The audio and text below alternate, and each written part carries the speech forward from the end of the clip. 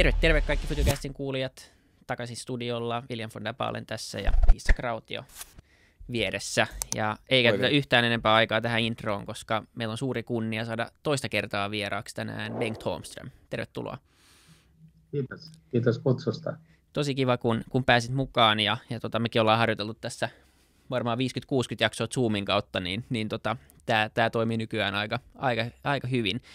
Tota, sä kävit kolme vuotta sitten suunnilleen viimeksi, tässä on parisataa jaksoa ehtinyt vierättää aikaa tässä, tässä välissä, niin, niin tota, haluttiin kysyä sulta alkuun, että mitä sä oot viimeisen kolmen vuoden aikana tutkinut ja tehnyt? Mähän menin eläkkeelle tässä eh, vuoden 2020 alussa eh, itse asiassa hyvin sopivasti tähän pandemiaan, mutta se ei ollut vielä silloin tiedossa. Ja, ja siinä eläkkeelle mennessä niin mä ajattelin, että mä, mä palaan, palaan opiskelijaksi, koska mua on aina kiinnostanut oppiminen ja mä, oon utelias ihminen, niin mä ajattelin, että mä voin laajentaa niin kuin mun näkemyksiä sillä lailla, että mä menen kuuntelemaan luentoja ja muuta. Sitä mä oon tehnyt aika paljon tietysti niin kuin netissä, mutta, mutta tuota, eh, sen lisäksi mä oon, mä oon sitten, tai mä oon keskittynyt tässä opiskelussa ensisijaisesti ehkä näihin digitaalisiin eh, alustoihin ja, ja yleensä digitaalisuuteen ja miten se vaikuttaa tähän meidän elämään. Että se, se on muodostunut sitten tässä näin kolmen vuoden aikana tässä pääteemaksi, koska mä oon ollut mukana tämän, mä, mä menin mukaan tähän, tähän tuota Alibaban eh, tällaiseen akatemiaan, Loan Academy, ja sit sen kautta luonnollisesti tutkitaan tätä, tätä digitaalisuutta. Meillä on ollut muutamia jaksoja alustataloudesta, alustoista, eh, tästä digitaalisesta mä tiedän, onko vähän nykyään jo naivia kutsua vallankumouksesta, koska tähän on niin kuin täyttä nykyisyyttä jo tämä tota, digitaalisuus ja alustat. Öö, mutta jos joku kuuntelija ihmettelee, että miksi me koko ajan puhutaan tästä, niin voitko se vahvistaa sen väitteen, että näissä alustoissa on kyse ihan valtavasta muutoksesta, joka ei vaikuta vaan öö, niin kuin talouteen, vaikuttaa ihan ihmiselämiin. Tämä on ihan valtava muutos. Kyllä se on mun mielestä tosi suuri muutos ja, ja mä oon ilmaissut sen niin, että me, digitaalisuus on ollut meillä jo puoli vuosisataa. 60-luvulla, 70-luvulla minäkin olin ensimmäisessä töissä, niin oli tietokone Alströmillä jo. Ja siitä on puhuttu ja puhuttu ja puhuttu. Mutta sitä, e, ja valtavia harppauksia tehty teknologian puolella.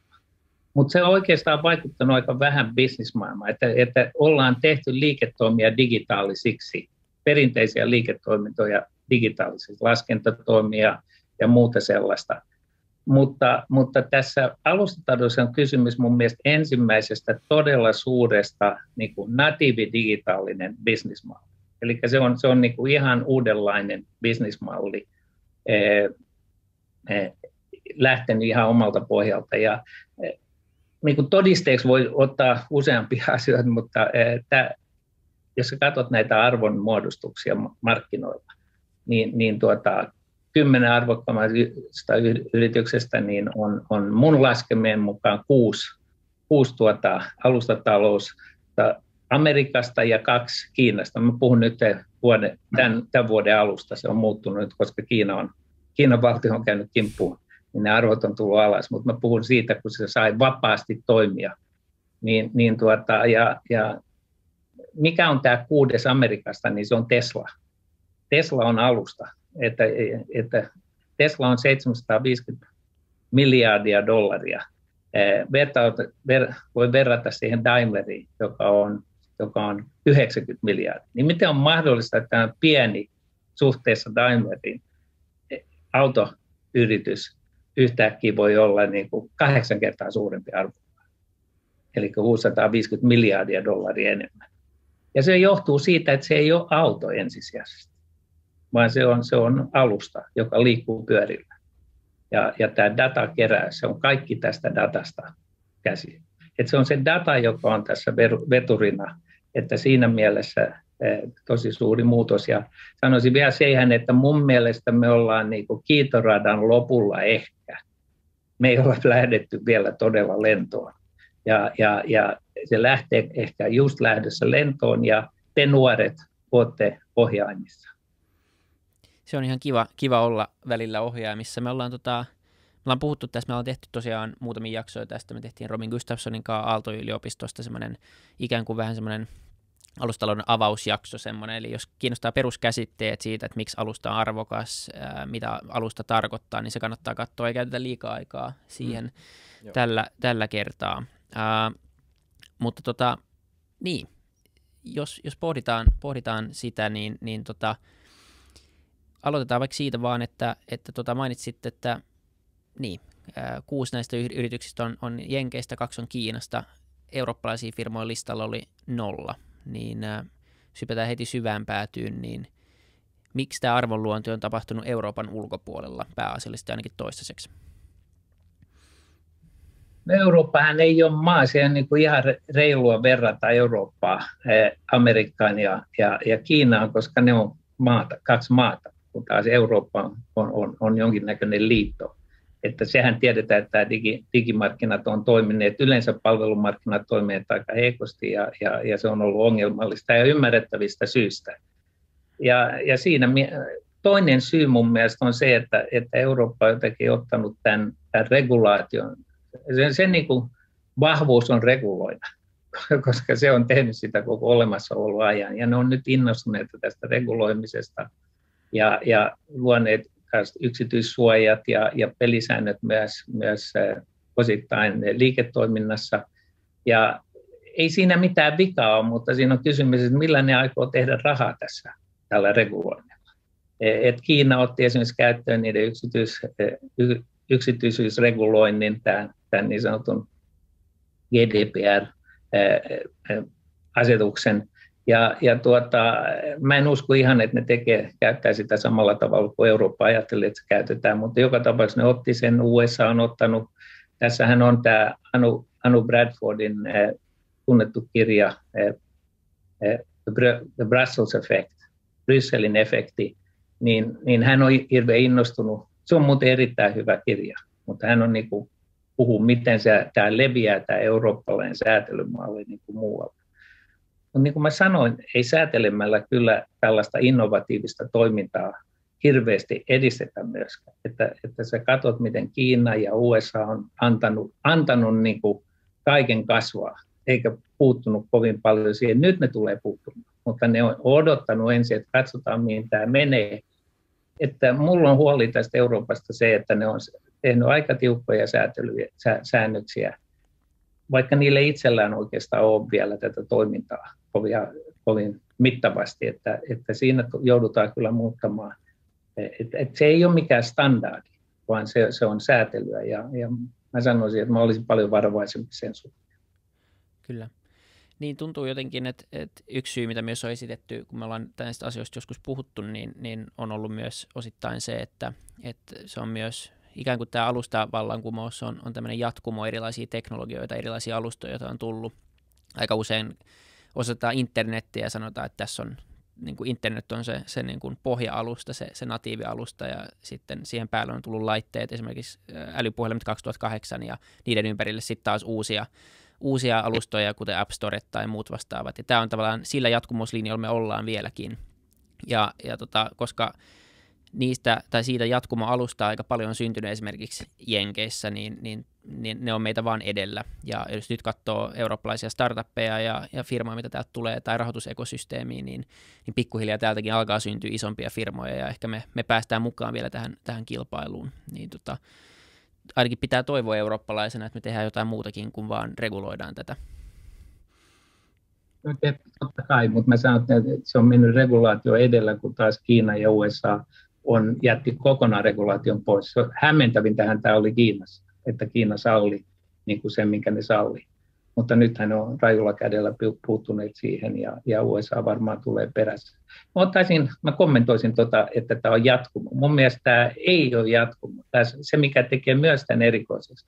Että 10 vuotta sitten, tai sanotaan 12 vuotta sitten, tai 15 vuotta sitten, tuota, Steve Jobs ei nähnyt alkuunkaan tätä alusta talouksien mahdollisuudet sellaisena kuin me nyt nähdään, että se on tapahtunut. Hän, hän vastusti sitä App Storea, että se olisi jotain muuta kuin tun Applein omistamana.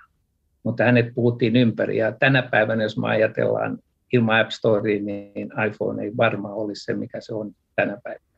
Niin että, niin että sitten on tullut tällaisia epäjatkuvuuksia tässä teknologiassa. Esimerkiksi tekoäly, jossa oli niin kuin kaksi haaraa ennen, tällainen deduktiivinen, joka niin kuin yritetään luoda tällaista ihmisen kaltaista ajattelua, ja sitten toinen on induktiivinen, jossa sanotaan, että opitaan sillä lailla, kun lapsi oppii. Eli lapsen ei deduktiivisesti opi, vaan se vaan data tulee sen eteen ja se niin oppii jumalattoman nopeasti. Ja se on tämä jälkimmäinen, nämä neuroverkot, jotka, jotka, jotka niin kuin on osoittautunut hämmentävän tehokkaiksi ja tehnyt niin kuin real game changer, niin kuin me sanotaan. Todella muunlainen tilanne. Ja tämä kaikki on tapahtunut tavallaan tässä kymmenen vuoden aikana minun mukaan. Sitten on tullut pilvipalvelut ja, ja muut siihen, mutta ja sitten mobiili, mobiili, mo, mobiili-internet, ei pelkästään internet, vaan se on nimenomaan mobiili-internet, jossa muuten Nokia ja, ja voidaan suomalaisina olla ylpeät siitä, että Nokia veisi maailmalle aika pitkälle. Niin, niin, niin tuota, se on muuttanut kokonaan sanotaan kehitysmaiden tilanne. Että, että niillä ei ole varaa veteen tai niillä ei ole sähköä, niillä ei ole vettä, mutta niillä on lähes kaikilla niillä ihmisillä on, on, on mahdollisuus mobiililaitteilla. Bangladesh, joka on yksi maailman maita, niin on yhtäkkiä, se on, se on per capita on suurempi kuin Intia. Ja se on niin kuin kaikki, mä sanoisin, tämän mobiilin internetin seurausta. Me ollaan ennenkin puhuttu tai otettu puheeksi tämä regulaatio Euroopassa. Mitä, mitkä niin kuin yksittäiset tai yksittäiset tämmöiset niin kuin lait tai sääntelyt tai jotkut regulaatiopaketit on niin kuin suurimmat syypäät tässä? Tai mikä, mikä, mikä se käytännössä on se regulaatio, joka on estänyt tämän kasvun, ainakin tämän niin kuin teorian mukaan? Mun mielestä se lähtökohta, mä en halua, niin kuin, me mennään liian syvälle, jos me yksityiskohtiin okay. mennään, enkä mä kaikkia tunne, mutta lähtökohdassa voi sanoa sen. Niiden lähtökohta on se, että, että yksilöllä on ikään kuin oikeus tietoon. Mutta tämä, tässä ei silloin huomioida, että tämä tieto, minun tieto voi olla erittäin arvokas tai palasena teidän niin kuin mahdollisuuksia.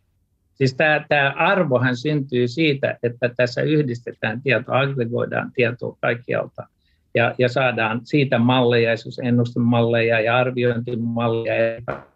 Ja, ja se on tämä, tämä niin kuin datan tällainen ulkoisvaikutus, niin me sanotaan, niin se vaikuttaa muihin ihmisiin kanssa. Ja kun joku vaikuttaa muihin ihmisiin kanssa ilman, että se käy niin kuin markkinapaikan kautta, niin se se on, se on mahdollisuus ja ongelma. Ja, ja siinä mielessä, siinä mielessä niin kuin tämä idea, että yksilö omistaa oman tietonsa, ei yksilö ole sitä tuottanut. Ei me omisteta sitä, ei me sanota lehdelle, että ette saa painaa mun nimesi. Lehdellä on oikeus painaa sun nimesi, ellei ne sano jotain sopimatonta.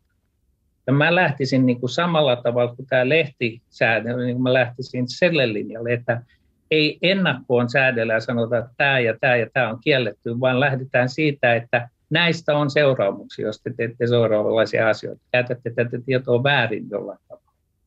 Että se on yksi ajatus esimerkiksi, joka mun mielestä tämä, tämä että tässä, siis se idea, että, että näitä miljoonia miljoonia niin kuin tiedon palasia, että, että se, se, se pieni yksilö, jolloin se palaa, niin jotenkin voi päättää, saako sitä käyttää tai ei. No toinen asia on sitten, että ne kaikki sanoo, että saa käyttää. Siitä on empiiristä, ei ne, ei ne, me klikataan, se on vähän ärsyttävä se, että do you want to, mm. että haluat sä, mulla on englannin kieli, mutta haluat sä jotain niin kuin muuttaa. Me kaikki painetaan sitä. Se voisi yhtä, yhtä hyvin, se ei, sen ei tarvitsisi olla siellä. Se olisi paljon tehokkaampi sitten se, että jos se käytetään väärin se tieto niin siitä tulee seuraamuksia jollekin osapuolelle. Tämä on mun ajattelu tässä asiassa. Mä en nyt halua sanoa, että mä olen hirveän syvällisesti ajatellut, mutta tämä edustaa aika pitkälle, mä sanoisin, mun kaltaisten taloustieteilijöiden ajattelua. Kyllä. Jos puhutaan datasta, se on nimenomaan se, mikä melkein aina nousee ensimmäisenä näissä alustatalousfirmoissa esille, eli se on se ikään kuin se luovutettu data tai jos se ei ole luovutettu, niin ainakin se syntynyt data on ikään kuin se käyttökustannus monessa palvelussa, mikä, mistä, tai millä me maksetaan, niin, ja sanoit, että siitä pystyy tekemään ennustemalleja ja näin, mutta mut mikä siitä datasta oikeasti tekee näille firmoille niin arvokkaan? Liittyykö se myös siihen, että jotkut firmat kasvaa niin isoiksi ja syntyy vähän tämmöinen niin kuin winner takes all tilanne, missä, missä sitten joku saa huomattavasti enemmän dataa kuin kaikki muut ja pystyy sitten sitä käyttää hyväkseen ja kasvaa entistä enemmän ja tekemään vielä parempaa palvelua meille. No, tuossa kysymys on tavallaan kaksi osaa. Yksi on tämä niin kuin sanotaan, verkkoefekti, joka on omalla tavallaan myös hankala. Niin mä haluaisin ensin puhua tästä datasta.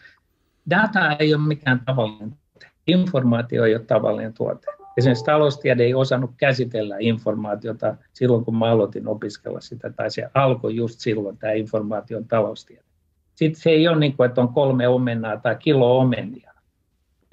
Se me tiedetään, mitä se on, ja se voidaan mitata ja se voidaan säädellä, että, että, että jos sä myyt enemmän jotakin tuotetta, niin, niin silloin, silloin se maksaa sitten, tulee joku vero tietyllä tavalla. Mutta datassa ei ole tällaista käsitettä kuin enemmän. Et se kilobitti tietysti voi, voidaan kilon, kilon sijasta kilobiteistä, mutta se ei merkitse mitään. Se on kysymys, että miten sä käytät sitä, mikä vaikutus sillä on. Se niin kuin dominoi. Se on yksi asia. Sitten toinen on, että se, se voi niin kuin monistaa. Että se, että mä syön omenan, niin sä et voi syödä sitä samaa omenaa. Mutta jos, jos, jos, jos sä teet algoritmia tai, tai annat mulle palasen dataa, sen voi toistaa niin kuin nollakustannuksella muille ihmisille. Me voidaan levittää ohjelmia eh, lähes samaan hintaan kymmenelle ihmiselle kuin, kuin yhdelle ihmiselle.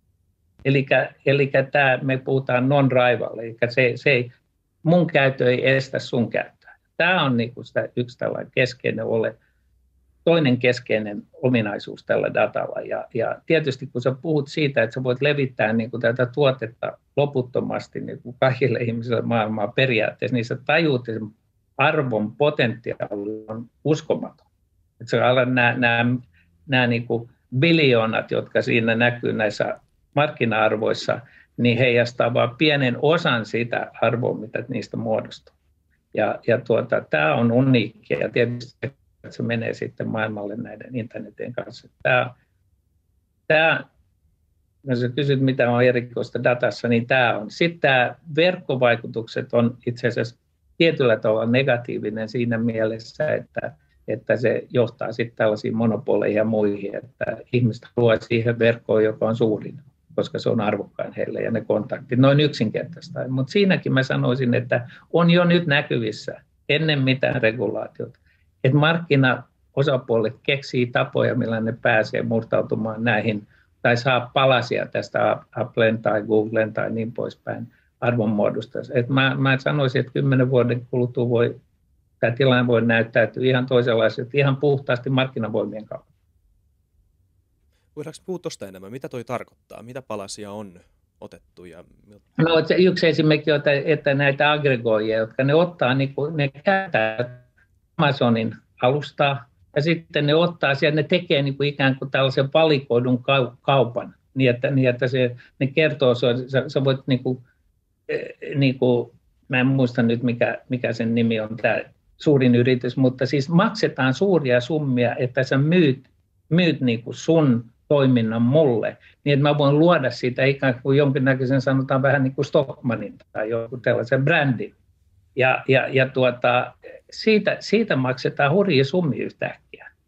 Eli se, se niin kuin tulee vastapainoksi tähän, tähän Amazoniin, koska Amazon on liian iso luodakseen brändejä. Se on se Amazon-brändi, mutta sillä ei voi olla niin kuin tuhansia brändejä. Niin sä poimit sieltä, niin kuin sanotaan, parhaat marjat ja, ja, ja teet, teet niistä mielenkiintoisen. Ja, ja, ja tämä, on, tämä on ihan uutta. Tämä on, tämä on niin kuin kuuma, kuuma tuota, eh, trendi tällä hetkellä.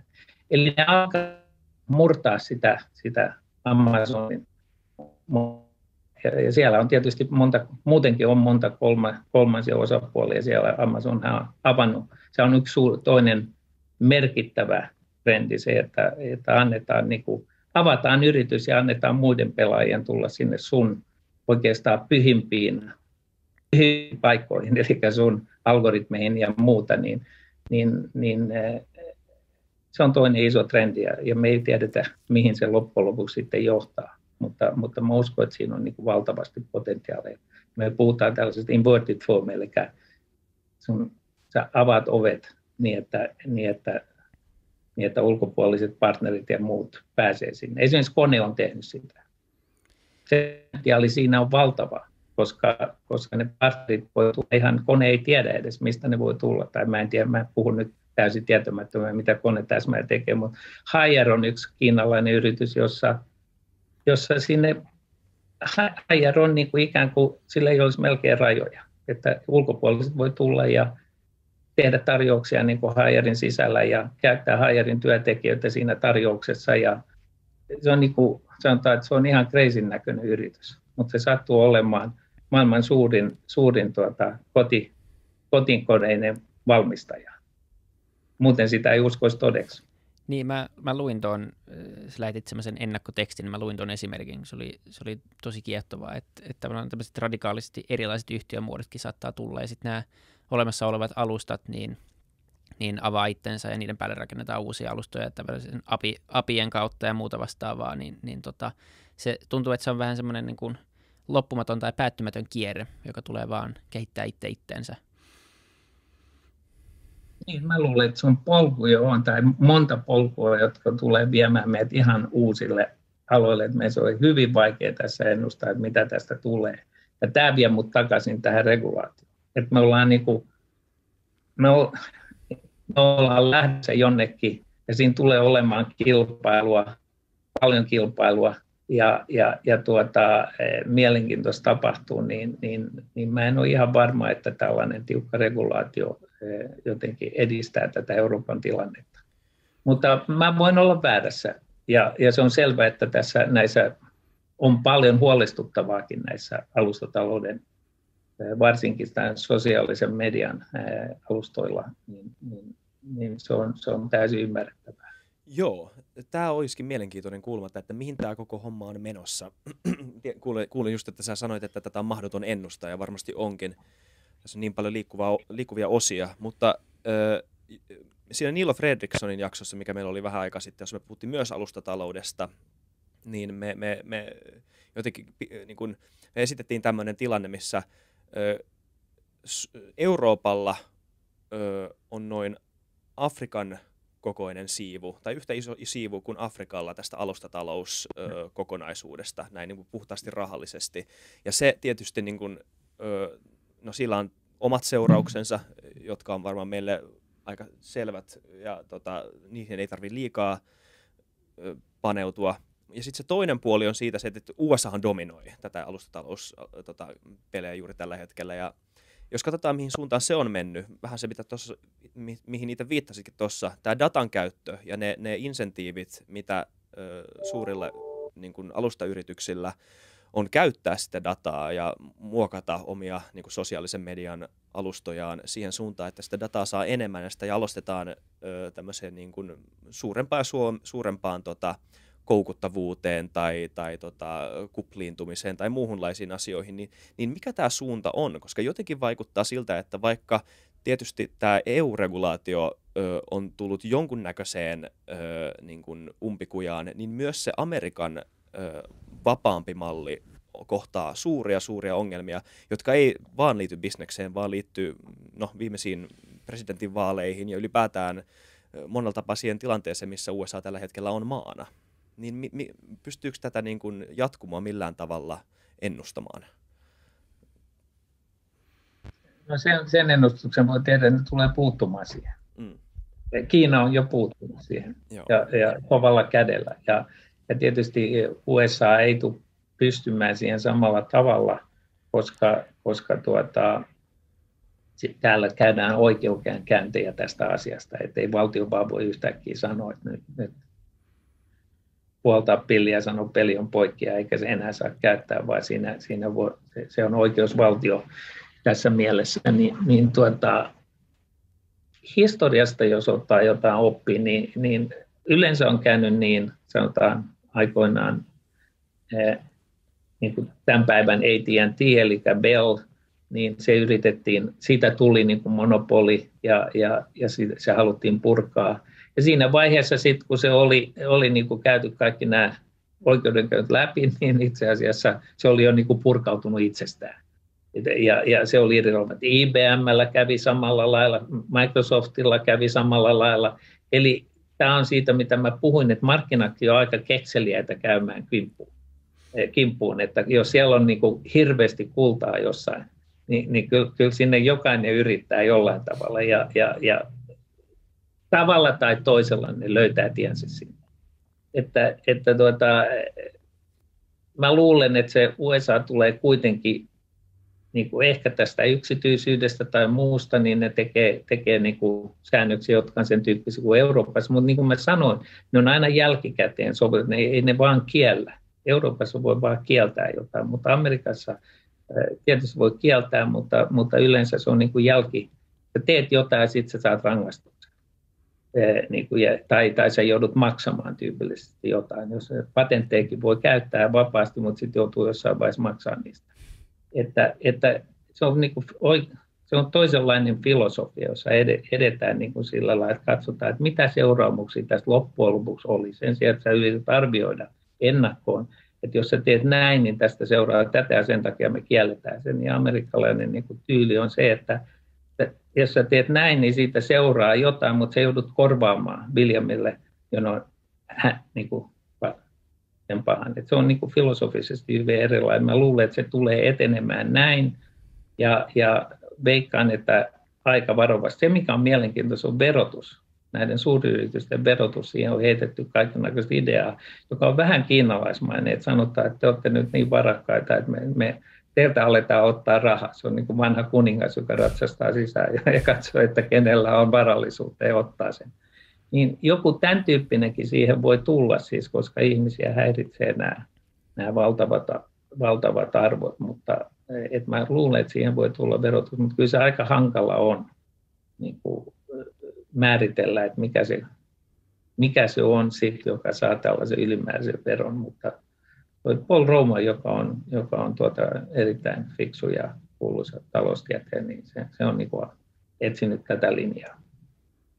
Kyllä, joo, ja se keskustelu käy kuumana ylipäänsä myös siitä, että sallitaanko niin kuin se monopolisoituminen ja saako Google kasvaa niin isoksi tai Amazon kasvaa niin isoksi vai pitääkö ne eriyttää pienemmiksi osiksi ja sekä ei varmaan tule ihan lähivuosina ratkeamaan tai se ei ainakaan ihan, se on varmaan aika vaikea keskustelu ja vaikea, ää, vaikea prosessi kuitenkin kaikin puolin semmoinen toteuttaa, mutta nyt ainakin sitä aletaan pitää mun käsittääkseni vähän isompana riskinä kuin ehkä vielä 5-6 vuotta sitten, että nyt ainakin siitä käydään ihan aitoja keskusteluita tällä hetkellä ja, ja tota, luulet sä, että se voi olla yksi, yksi tapa hajauttaa, eli vai luulet sä, että markkina nimenomaan hoitaa, hoitaa senkin ajan myötä itse? No, mun on vaikea sanoa, kyllä ne tulee puuttumaan jollain tavalla, mutta mun, mä sanoisin mun ennusto, että ne ei niin kuin millään hirveän rajulla kädellä välttämättä puutu. Ne voi just, verotus on niin kuin aika, aika tällainen varovainen, jos ne keksii jonkun tavan verottaa tätä. Ja, ja siinä mielessä, eh, tämähän on nyt tämä maailmanvero, tämä 15 prosentin mm. maailmanvero, yksi esimerkki niin kuin tämän tyyppisestä verotuksesta, niin, niin eh, tuleeko se toimimaan tai ei, sitä ei tiedä, mutta, mutta tuota, kyllä ne tulee koittamaan jotain, jotain eri teitä tässä ja, ja, ja kaikki riippuu tietysti kanssa presidenteistä ja, ja vaaleista ja niin poispäin. Jos, jos Trump tulee takaisin, niin ei tähän, tähän asiaan kyllä kosketa, todennäköisesti mä veikkaisin. Kyllä. Kyllä mä lisäisin tuohon, että kun sä sanoit, että USA on edellä, niin Kiina oli kyllä, Kiina on kyllä monella alalla, niin kuin, ne on jäljessä monella alalla, ne on myös edessä.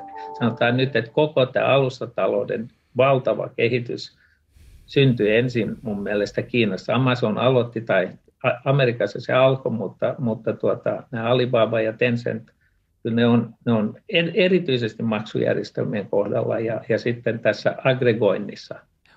Että kun sä kysyt siitä, että mitä on niin kuin mä haluaisin nostaa esiin yhden muutoksen, että bisniksille tämä tarkoittaa sitä, että täällä on erittäin kummallisia yhdistelmiä. Että joku, joku, sanotaan nyt esimerkiksi Microsoft osti YouTuben, niin miten se niin ensin kysyy, että mitä ne sillä YouTubella tekee.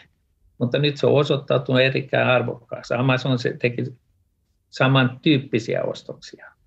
Ja, ja, ja, tuota, ja sitten sit niin vasta me, meikäläiset vasta jälkipään alettiin ymmärtää, mistä on kysymys. Amazon on ollut tosi suuri edelläkävijä näkemään tämän alustatalouden mahdollisuudet ja johtanut sitä. Mutta niin on nämä kiinalaisetkin.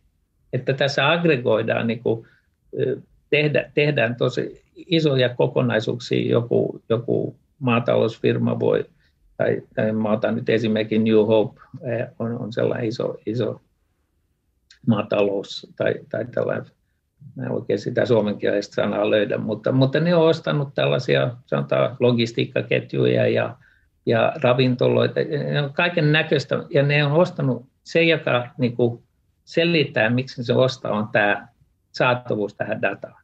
Eli se, se data niin kuin ruokkii sitä sen sijaan, että, että ennen, ja, ja se tarkoittaa sitä, että siinä voi tapahtua suuria hyppyjä niin kuin pois omalta alalta johonkin muualle. Niin kuin mikä on lähellä sua ei enää ole se, että se tekee juuri saman tyyppistä toimintaa, tuotantoa, vaan sä katsot, että se on lähellä, koska tämä informaatio on niin kuin relevantti meille molemmille. Kyllä, niin ja Kiinassa on syntynyt näitä super-appeja, missä, missä nimenomaan joku WeChat on, on integroinut tosi paljon eri palveluita ja myös nimenomaan sen maksamisen ja ainakin tuntuu, että esimerkiksi Facebookilla aika sama strategia on ostanut eka Instagramin ja sitten WhatsAppin ja Joo. sitten VR-systeemät ja nyt haluaa vielä luoda oman valuutan, niin, niin tota, sitten kun sä laitat sen valuutan miljardille ihmisille, niin sitten sä oot yhtäkkiä aika iso, iso maksu, tai niin kuin maksujärjestelmä ähm, mahdollista, ja, ja Facebookin kauttahan jo siis kulkee aivan valtava määrä transaktioita joka vuosi. Se on myös asia, mistä ei puhuta ehkä ihan hirveän paljon, eli he on jo semmoinen de facto maksuliikenne tarjoaja ja yksi maailman isompia, niin ähm, se, sekin on tosi jännä, jännä vaan, että mihin suuntaan tämä aggregointi menee ja, ja ehkä se on sitten siinä vaiheessa tuntuu itseltä ainakin loogiselta, että, että se puuttuminen tulee tapahtua, jos joku kontrolloi liian monta haaraa samaan aikaan ja mennään takaisin tämmöisiin Rockefeller- tai Carnegie-maisiin superisoihin tämmöisiin niin kuin konglomeraatteihin, jotka kontrolloi liikaa, liikaa kaikkea ja, ja tota, monopolisoi ei yhtä alaa, vaan, vaan niin kuin puolet meidän elämästä. Se on mielenkiintoista, jos ajattelee, pankit, pankithan on näitä välittäjiä. Siis tämä perusongelma on se, että, että, että tuota, on kitkoja niin kuin ihmisten välillä. Sä haluat luottoa, mulla on rahaa, mutta miten mä tiedän, että sä maksat mulle takaisin sen luoton? Tai, tai mitä tahansa muuta tällaista niin kuin se voi olla etäisyys tai historiassa etäisyys. Ja, ja, ja jos ajattelet, että jotain mark- markkinapaikat on, vanhan ajan, keskiajan markkinapaikat oli alustoja. Kyllä. Mutta ne oli niin kuin hyvin rajattuja, koska se oli fyysinen, fyysisesti rajattuja. Niin, niin, niin tämä, tämä on tämä perusongelma, että miten saadaan niin kuin ostajat ja myyjät yhteen tai, tai tuottajat ja, ja, ja kuluttajat yhteen. Ja, ja tämä historian kehitys on ollut se, että tullut lisää ja lisää välikäsiä ja välittäjiä, jotka on niin kuin fiksummin ja fiksummin niin kuin rakentaneet siltoja näiden, näiden. Ja mä korostan, että ne on informaatiosta yleensä johtuvia. Mä en tiedä, mitä kuka sä oot, tai mä en tiedä, oot sä luotettava, tai mä en tiedä, minkälainen riski sä oot, jos mä annan sulle vakuutukset. Ja taloustiede on tutkinut tätä, sanotaan mun elämän aikana aika paljon. Mutta, mutta nyt mitä tämä alusta tekee on, että ne ottaa nämä välittäjät pois. Mä toistan ehkä itseni, mutta se on erittäin tärkeää ymmärtää, että tämä algoritmi korvaa tämän välittäjän. Tai sanotaan, että esimerkiksi luoton annossa informaatio kor- korvaa vakuuden. Vakuudet on historian tapa rakentaa silta, koska mä en ymmärrä, mikä sun idea on, mutta anna mulle sun talon vakuudeksi, niin mun ei tarvitse edes tietää, mihin sä käytät sen rahan. Mutta nyt se, nyt se korvataan sille, sille, että täällä on valtava merkitys kehitysmaihin, koska niillä ei ole mitään vakuuksia. Ja niillä ei ole edes pankkitiet. Jos katsot, mitä on Kiinassa tapahtunut, niin satoja miljoonia ihmisiä Länsi-Kiinassa on yhtäkkiä eh, ei pelkästään niin kuin, eh, käteisen varassa, vaan niillä on mobiililaite, ne, ne, ne voi päästä, niillä on pankkitili, ne voi ostaa sieltä käsin ihan lähes yhtä hyvin kuin eh, Itä-Kiinassa. Keskimääräinen kaupan etäisyys, sen myyjän ja ostajan välinen etäisyys Kiinassa on tuhat kilometriä tässä, tässä Alibaban alustalla. Hmm. Että, että saa käsityksen, että minkälaisen sillan se on rakentanut tähän ja, ja, ja tuonut nämä ihmiset, tämä, tämä niin kuin, niin kuin me sanotaan, the world is the village now että, että tämä maailmasta on tullut tämä kylä. Ja, ja paljon muuten, mitä näkyy noissa Facebookissa ja muissa, ja nämä, nämä ikävät piirteet lainausmerkeissä, juoruja ja muuta, niin ne on itse asiassa kylässä ne oli niin kuin rajattu, ja se, jos, sä, jos sä teit jotain tyhmää, niin sä siirryt seuraavaan paikkaan, mutta, mutta tänä päivänä niin kuin koko maailma saa tietää sen, jos olet, ainakin jos olet kuuluisa. Että, että tässä on, niin kuin, on kiva katsella tätä vähän niin kuin historiallisessa valossa, Joo, valossa tätä, tätä, mutta tärkeä ymmärtää, että mun mielestä jos me positiivisia asioita katsotaan, niin, niin olen ihan varma, että tämä on köyhyyden ratkaisu. Okei. Hypätään tuohon mieleen. Toi oli niin kuin iso statement.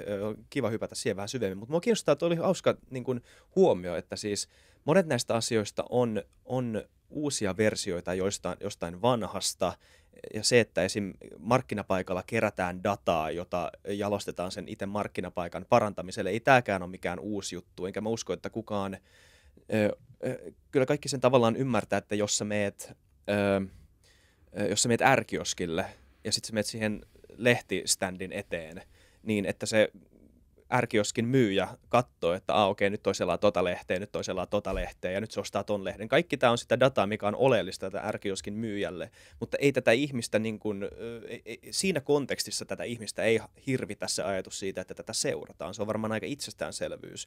Mutta sitten kun maailman rajat on se raja, koska sä voit mennä ärkioskin ulkopuolelle ja jatkaa sun elämää tota, tavallaan itsenäisenä yksityisenä henkilönä, mutta kun rajat on koko planeetta, koko tämä maailman kylä, niin ei ole oikeastaan enää mitään paikkaa, missä tota, ihmisellä olisi tätä ö, yksityisyyttä. Tai siis, tai siis ö, siinä, siinä, siinä, se sun, siinä se alusta on tavallaan tehnyt susta jonkunnäköisen kokonaisuuden. Ja, ja, ja se on ehkä se, mikä monta, monta ainakin kuluttajaa mietityttää, että mitä tässä tapahtuu. Mitä tapahtuu, kun mä en enää voi paeta minnekään. Mä en voi, mä en voi vaan mennä kylästä toiseen. Joo, se on, se on pelottavaa. Mutta se paras suojaus siihen ei ole, ei ole säätely välttämättä, vaan että se käyttäydy hyvin. Tässä niin. on johtanut siihen, että, että, että tuota, jos me tiedettäisiin, minäkään en tiedä, mutta mä oon saanut mun opiskelijoilta jon, täällä MITissä jonkun verran tietoa, kun ne kertoo, mitä kaikkea monet osapuolet, valtio, Amerikan valtio, ei se ole vaan Kiinan valtio, Amerikan valtio, mitä ne kaikkea tietää. Se, että ne voi murtautua mun puhelimeen, jos ne haluaa, ne pystyy menemään mun puhelimeen, eh, myös täällä Amerikassa. Se on kallista ja sen takia ne ei sitä tee, niin niin se kannattaa se kynnys pitää riittävän korkealla. Mutta ne pystyy siihen, että, että ne kerää dataa joka hetki. Tämä, kaikki tämä, mitä me puhutaan, se on, se on niin kuin kaikkialle saatavissa ja, ja, ja tuota, mitä ihmiset näkee siitä tästä, että mun kasvot tulee, tulee filmattua ja muuta, niin että kyllä se niin kuin, kyllä se on siinä mielessä pelottava. Mä oon, mä oon samaa mieltä kuin sinä, että, että tuota, mutta mun mielestä ei sitä voi estää, vaan se voi sitten jälkikäteen, niin kuin jos sitä käytetään väärin, niin, niin sen kimppuun pitää mennä. Sä näet taas, että jos me yritettäisiin estää, että joku ei saa filmata meitä tai jotain muuta, niin, niin, niin, niin se on mahdottomuus, kun me ei tiedetä, mitä seuraamuksia siinä on. Mutta jälkikäteen pystyy sen niin kuin me ei voi olla periaatteista siitä, mikä on sopimaton. Kyllä. Niin ja tietenkin se hyvin käyttäytyminen, niin, niin se, se ongelma siinä on, että, että kuka määrittää, mikä, mikä on hyvä, hyvä käytös, ja, ja jos se on jonkun ison globaali firman, firman tota, arvopohjan mukainen, niin, niin se saattaa olla vähän haasteellista sitten ainakin aika monelle, ja, ja tota, sit syntyy, syntyy ainakin miele, mielenkiintoisia eettisiä kysymyksiä. Mutta hypätään siihen köyhyysjuttuun, mun mielestä se on, se on erittäin mielenkiintoinen äh, kerroit tämän Kiina-esimerkin, myös Intiassa tämmöinen Reliance Industries-niminen firma, joka on myös jonkin sortin iso konglomeraatti, siellä yksi Intian isompia firmoja, niin mun käsittääkseni on jakanut ilmaisia kännyköitä tota, todella monelle intialaiselle, ja, ja siellä on niin perus infra luotu, että siellä on pankkipalvelut ja muut siinä kännykässä suoraan, ja, ja tota, niin onko tämä osa sitä, sitä miksi, miksi tämä voisi olla nimenomaan, että sä saat ihmiset internetin äärelle, saat jonkin sortin niin kuin pankkijärjestelmän luotua, joka ei vaadi pankkikonttoreita, ja, ja saat, saat vaan ihmisille oikeastaan pääsyn luottoon, pääsyn pääomiin, koska loppupeleissä se syy köyhyyteen on, on nimenomaan, vaikka se kuulostaa täysin itsestäänselvältä, niin se on nimenomaan pääoman puute, ja se, että sä et saa sitä mistään, ja sä et pääse tavallaan siitä, siitä niin kuin, äm, loukusta pois mutta mut sitten jos sulla on saatavu- tai pääoma on saatavilla, niin sulla on ainakin mahdollisuudet tehdä, tehdä asialle aika paljon enemmän. Joo. tuota, siinä on useampi dimensio. Ensimmäinen dimensio on se, että sä pystyt siirtämään rahaa. Esimerkiksi köyhissä, ma- köy- köyhissä maissa hän siirtyy valtavasti rahoja. Nämä, nämä, kun, mä en tiedä mikä se suomen kielen nimi on, mutta se on remittance, eli ihmiset Amerikasta sanotaan afrikkalaiset, ne, ne, ne lähettää paljon rahaa kotiin Afrikkaan ja se on tosi iso liikenne. Sitten Afrikan sisällä esimerkiksi, niin, niin, niin silloin ei edes näillä älypuhelimilla, vaan, vaan tekstiviestejä Molne on kehittänyt, M-Pesa on kehittänyt niin kuin todella sofistikoidun järjestelmän ja, ja, ja tuota, ehkä ei niin luotettava, mutta se on toiminut hirveän hyvin. Että tämä maksujärjestelmä tai maks, rahan siirtämismahdollisuus on ollut jo perheiden ja muiden sisällä valtavan sitten on tiedon saaminen, jos sulla on kauppoja, vaan tiedetään, että minkä hintaisia, paljonko sä saat kalasta tai onko lääkäri paikalla, jos mä lähden kävelemään tai menemään jonnekin kauas. Nämä, näillä on ollut valtavan suuri vaikutus eh, tämän tiedon siirrolla. No, niin kuin, tämä luototus oli toinen esimerkki siitä, että, että eh, mä sanoisin, että Kiina on tässä ollut edelläkävijä ja, ja luotottanut näitä ihmisiä just sen perusteella, että katsottu, että se käyttäytyminen, sä jätät digitaalisen jalanjäljen, niin kuin me sanotaan. Ja, ja, ja tuota, sen perusteella sut pannaan ikään kuin laatikko, että William on tuossa, se on ton tyyppinen ihminen tämän käyttäytymisen perusteella. Ja, ja, ja, tuota, ja, ja, ja sitten katsotaan, mä yksinkertaisesti hyvin, vaan sitten katsotaan, että miten nämä ihmiset, onko se maksanut lainansa takaisin näitä laatikkoja on niin kuin tuhansia, niin, niin tuota, onko se käyttä, onko ne maksanut takaisin, jos vastaus on, ne on maksanut takaisin, niin, niin Kiinalla tämä, on nyt Alipay, niin lähettää sulle viestiä ja sanoo, että haluatko tällaisen luoton. Ne on vähän niin kuin credit card-tyyppisiä, eli luottokorttityyppisiä. Sano, että tässä on ehdot, sä et, sä et ano mitään. Se, tulee, se signaali tulee sinne ja tarjoaa sulle. Niin, että koska ne tietää enemmän sinusta kuin sä tiedät, mitä luottokelpoisuuteen tulee. Tämä on uutta siis, että se on tämä push eikä pull. Hmm. Ja, ja, ja sitten sä sanot, jos sä vastaat kyllä, niin, niin, niin antaa minuutin sisällä sulla on, sulla on rahapankissa tai tämä luottolimitti pankissa ja sä voit käyttää sitä. Ja, ja tämä koskee yhtä lailla sitä ihmistä siellä Länsi-Kiinassa kuin mitä se koskee jotain ihmistä Shanghaissa. Itse asiassa nämä länsi osat, jotka on ne köyhät osat, niin ne käyttää paljon enemmän. Mongolia on muuten kehittynyt digi, digimaa, vaan esimerkkinä. Tässä tulee esiin se, että yksi mielenkiintoinen ilmiö näissä köyhissä ihmisissä, ne on itse asiassa edustaa homo, niin kuin me sanotaan homoekonomikusta erittäin hyvin. Eli ne on kaikista terävimpiä taloustieteilijöitä tavallaan. Ne, ne, ne, laskee, ne on köyhiä, niin ne laskee jokaisen trade-offin hyvin tarkkaan sinä ja minä mennään, me nyt päätetään, että pannaan nyt, ostetaan tuo champagnen pullo tuossa ravintolassa, eihän silloin suurta merkitystä meidän taloudelle. Mutta nämä köyhät ihmiset on supertietoisia. Intiassa esimerkiksi näkyy, että heti niillä on, Intiassa on mobiilipuhelin, niillä on useita liittymiä, koska ne koko ajan tarkistaa, tai siis siinä oli itse asiassa ohjelma, joka tarkistaa, että mikä, mikä puhelureitti on halvin. Eli niillä on, niin kuin, ne, ne on, niillä on Elisa ja ja, ja mitä siellä Suomessa on, on sitten näitä eri yhtiöitä, niin ne on kaikki pantu DNA, kaikki on niin kuin sun puhelimessa, olet samaaikaisesti ja se automaattisesti hakee sen halvimman tien. Ne on erittäin tietoisia, taloudellisesti tietoisia. Tämä on ollut niin kuin yllätys, sanotaan, tai länsimaiden väärinkäsitys. Ja sen takia niillä on, niin kuin mä sanoin, niillä on, niillä on mun mielestä on tällä hetkellä 80 prosenttia esimerkiksi köyhien maiden ihmisillä on puhel, kännykkä. Ja puolet niistä suurin piirtein on älypuhelimia. Siihen niillä on varaa, mutta niillä ei ole varaa sähköön välttämättä tai johonkin muuhun tämän tyyppiseen. Ne on, ne on, se on niin tärkeä se laite siinä, siinä niille tällä hetkellä. Että tämä, murtaa sen, kun sä kysyt, että miten, millä taas se köyhyys niin kuin paranee, niin, niin mun mielestä se on jo parantanut niin kuin ihmisten tilanteen. Niin kuin mä sanoin, Bangladesh noussut tietynlaisesta köyhyydestä hyvin nopeasti. Että mä uskon siihen, että, että nämä vakuudet, ei, että se, se on Herman de Soto on kuuluisa taloustieteilijä Etelä, Etelä-Amerikassa. Ei näiden köyhien niin kuin peltitalot ole minkä arvoisia siinä mielessä. Että tämä data on se, joka, johon helposti pääsee käsiksi ja joka on erittäin paljastava. Se on muuten pieni kommentti tästä luottokelpoisuudesta, että, että tuota, te, tässä tuli just yksi tämä tietoinen paperi, että jos sulla on Android-puhelin, sulla on alempi luottokelpoisuus ainakin tuolla New Yorkissa. Et pelkästään sen tieto, että sulla on Android ja minkälainen Android-puhelin versus iPhone ja minkälainen iPhone, niin se jo ennustaa sun luottokelpoisuutta. Aika jännä. Ja, ja, ja tuota, eh, et, et tässä on hyvin yllättäen. Tämä nyt on ehkä sen voi johtaa, sen voi ymmärtää aika hyvin, mutta sun täytyy alkaa miettiä, että ostat sä iPhone vai ostat sä Android.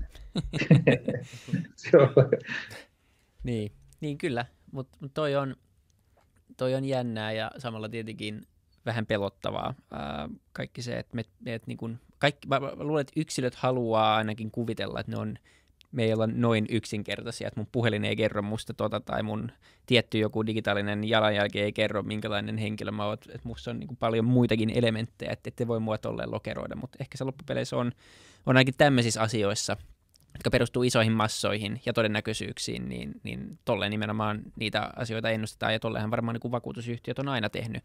Eli datan perusteella on pystytty arvioimaan melkein mitä tahansa aina ja, ja saatu saatu kustannukset oikein, niin niin kuin sä sanoit, tätä on varmaan tapahtunut jo pidemmän aikaa, mutta se jotenkin tulee niin, niin käsin kosketeltavaksi siis, jotenkin nykypäivänä. Joo, jotenkin, että se, että, se, että jos, se, jos asia on näin, että tota, keskimäärin ö, iPhonein omistajat on enemmän luottokelpoisia kuin Android-omistajat, niin sehän on jonkunnäköinen totuus, joka datahan on vaan paljastanut. Niin. Et, et kyse ei ole mistään valheesta, joka on data on luonut, vaan sehän olisi, mikään, sehän olisi yhtään hyödyllistä dataa tälle firmallekaan, jos se olisi vale. Sehän, on, sehän pitää perustua johonkin niin kuin oikeaan tietoon. Ja muutenkin yksityisyys on jännä konsepti, koska siis nyt someaikana, siis me eletään niin täyttä ylijakamisen aikaa, ainakin moni voisi miettiä mieltä sitä ylijakamiseksi, ja yksityisyys ei ole, ei ole ei, yksityisyys ainakaan sillä tasolla, kun puhutaan jostain niin regulaatiosta, niin se ei, ole, se, ei ole, se ei ole niin pyhä kuin moni antaa ymmärtää, mutta mut sekin on mä sanoisin, että se tärkeä pointti siinä on sen, sen yksityisyyden autonomisuus. Se, että saa itse päättää, että mitä kertoo ja mikä jää salaiseksi. Se on niin kuin se, mistä, missä mä mm. luulen, että se suurin huoli on. Että jos se autonomisuus katoaa siitä. Niin, että niin kaikki sit... viedään vaan niin kuin, vaikka sä et halua, niin sittenhän niin. se on niin kuin, periaatteessa ryöstöä päivänvalossa. Niin, niin etenkin, etenkin jos, se on, jos, sitä, jos sitä voi nyt nykyään pitää semmoisena hyödykkeenä, ja, ja tässä sitten seuraava kysymys voisi olla se, että pitäisikö alustojen maksaa, pitäisikö me olla asiakkaita eikä siitä tuote näillä alustoilla. Niin kuin ihan puhtaasti vaan, että me maksetaan niistä. Ja siitä se, se olisi se monetisaatio. No, siitä on puhuttu, mutta siis sähän maksat, niin kuin, sähän maksat datalla ihan niin kuin, niin, niin kuin William sanoi, että, että et, et, nehän on ilmaisia.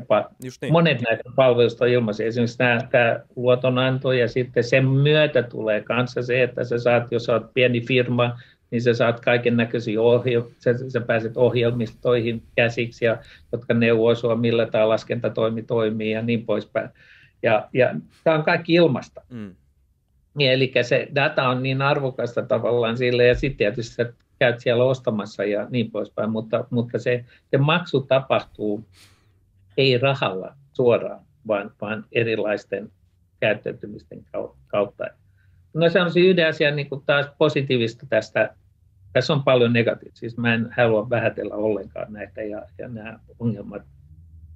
Mä uskon, että ne tulee ratkeamaan meitä kyllä ihmiset oli huolissaan televisiosta, ne oli huolissaan radiosta, ne oli huolissaan kaiken näköistä autoista, ne on aina ollut huolissaan, kun teknologia kehittyy. Yleensä siihen löytyy ratkaisu mm. jollain tavalla, mutta tietysti siihen tulee myös säätely. Mutta tämä, tämä, tämä niin kuin oikeus, me puhutaan siis, siis se oikeus, mun mielestä se lähtökohta, että jos joku on minusta koskee minua, niin mulla on oikeus estää sen käyttö. Niin kun mä palaan tähän, että sun nimi menee lehteen, ei sulla ole mitään oikeutta sanoa, että se ei saanut. Te panitte mun nimeni lehteen, mä haluan rahaa siitä, että koska mä te käytätte, käytit, ei, ei me tule edes mieleenkään, koska se skaala on niin pieni ja se harmi on niin pieni ja muuta. Mutta me, meillä on lehti, lehdistön vapaus ja, ja siinä suhteessa, jos ne kirjoittaa jotain, niin kuin joka häpäisee sut tai jotain muuta rikkoo tällaisen eettisyyden, niin ne saa maksaa siitä. Ja tämä on, niin kuin, tämä filosofia mun mielestä jossain muodossa kuitenkin pitäisi kantaa sinne digitaalisuuteen, koska sun tieto on arvokas niin kuin koko yhteisö. Mä en tiedä, mitä on tapahtunut Euroopalle, että siitä on yhtäkkiä tullut niin kauhean yksilöllisen, yksilöllisyyden niin kuin enemmän kuin Amerikkakin. Hmm.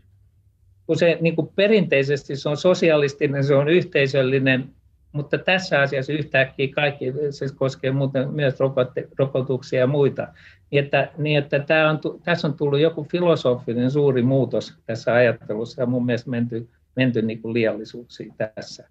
Että ei se, ei, tässä on monta tapaa myös niin kuin estää se, että kun se aggregoidaan, niin en mä siellä, ei, ei, ei sieltä löydy se Williamin niin kuin tieto kovin helpolla, koska se on, se, on eri temppuja, millä tavalla niin kuin se, se, vaan se aggregoitu tieto tulee esiin. Sanotaan, kun yritykset tai, tai etujärjestöt kerää jotain tietoa yrityksistä, niin ne aggregoi, ne ei ne kerro, että tämä UPM teki näin ja näin, vaan ne, ne kertoo, että keskimäärin tällaista oli. Ja se on hyödyllistä mm. näille yrityksille, mutta se on niin kuin peitetty. Tietysti se, joka on kerännyt ne tiedot, tietää sen, mutta hän, hän pitää sen salassa.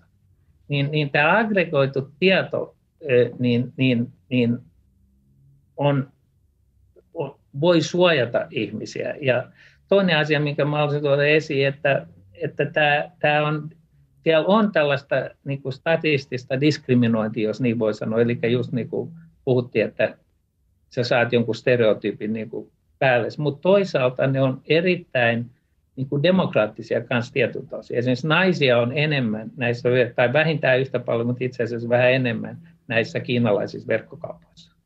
Ja, ja, ja niiden rooli, sanotaan tässä, jos luotonannossa ja muussa on paljon suurempi kuin mitä ne olisi normaali maailmassa, jos kuviteltaisiin, että ne on vanha ajan pankkeja ja jotain muuta.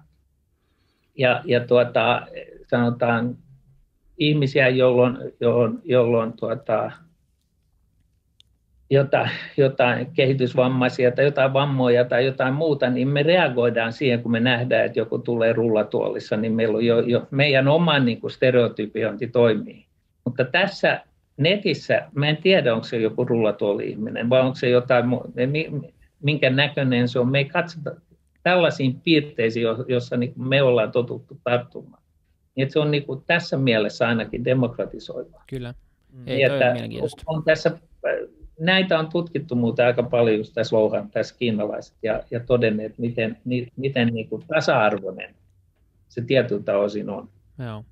Joo, to, tota harvemmin kuulee, mutta se on, se on ihan, ihan hyvä pointti. Mulla on pari aihetta, mitä mä vielä haluaisin käsitellä, Joo. jos meillä aika riittää, Joo. vaan ää, riippuu Bengtin aikataulusta aika pitkälti, ää, tai pelkästään, sanotaanko näin. Mun niin voidaan järjestää. Mutta lähinnä jos zoomaa vähän... Me ollaan aikaa, jos sä haluatte, niin, niin kyllä mä pari kysymystä ehkä vielä. Tämä on tosi mielenkiintoista ja, ja tota, jos miettii, että zoomaa vähän ulos ja katsoo vielä tätä alustataloutta ja dataa, niin olisi mielenkiintoista ymmärtää, että mitä se mahdollisesti tekee niin kuin organisaation rakenteille ja ylipäänsä niin kuin sille tavalla, mitä me rakennetaan firmoja tulevaisuudessa. Tuleeko ne enää ole tämmöisiä suhteellisen keskittyneitä johonkin, ne, on, ne yleensä aloittaa jostain isosta markkinasta ja ne kasvaa siellä ja sitten ne lähtee pikkuhiljaa harautumaan ja, ja niistä tulee monikansallisia näin ja mutta ne on, ne on aika keskitettyjä organisaatioita loppupeleissä vieläkin.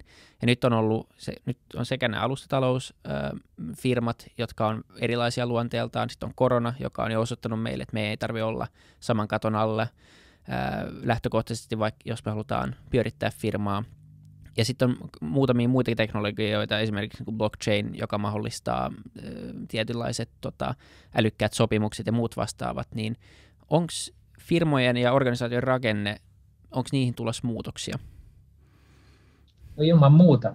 Siis se, on, se tulee olemaan, se, se tulee yleensä se ensin teknologia kulkee sitten aletaan ymmärtää, mitä sitä teknologiaa voi soveltaa, miten organisaatioita voidaan muuttaa. Ja tämä alustatalous on yksi esimerkki siitä, mutta jos me puhutaan näistä yrityksistä, niin yrityksen rooli, niin kuin mun, mä mielen yrityksen tällaisena niin kuin, niin kuin sanotaan, alus, alustaloutena, ei alustataloutena, vaan alusta, alitaloutena ehkä on se suomenkielinen sana, että se, se, se, se saat tehdä omat säännöt, jos sulla on joku yritys, niin se saa tehdä säännöt niin kuin tietysti lain mukaan, mutta säännöt sille, että mitkä on pelisäännöt sun sun niin kuin pienellä saarekkeella, missä, mikä on sun yritys.